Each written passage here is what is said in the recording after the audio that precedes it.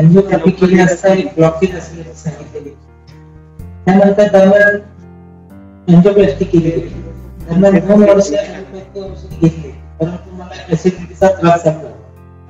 मी सदर डॉक्टरांच्या लक्षात आणून दिले. त्यांनी मला ऍसिडिटी कमी होण्याचे गोळ्या दिल्या परंतु कालांतराने रात्रीची झोप देखील दिवस कमी होती नंतर मार्च दोन हजार वीसमध्ये मी अतिशय अस्वस्थ होतो ते योग्य ट्रीटमेंट व मार्गदर्शन मिळवण्यासाठी तेव्हा मी माधवगाव येथे ट्रीटमेंट घेण्याचा निर्णय घेतला.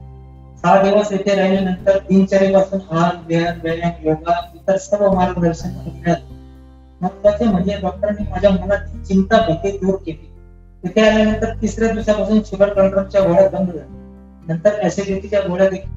माझी पुढी पोस्ट टेस्ट टेस्ट तसे इकेवसी टेस्ट नॉर्मल आल्या तेव्हा डॉक्टर स्नेल मॅडम यांनी माझी इकोस्प्रिन गोळी देखील बंद केली. तर ते मला कुठल्याही ते गोळ्या घ्याव्या लागत नाही. मला कुठलाही त्रास होत नाही. त्याबद्दल मी माझ्या खूप खूप आभारी आहे.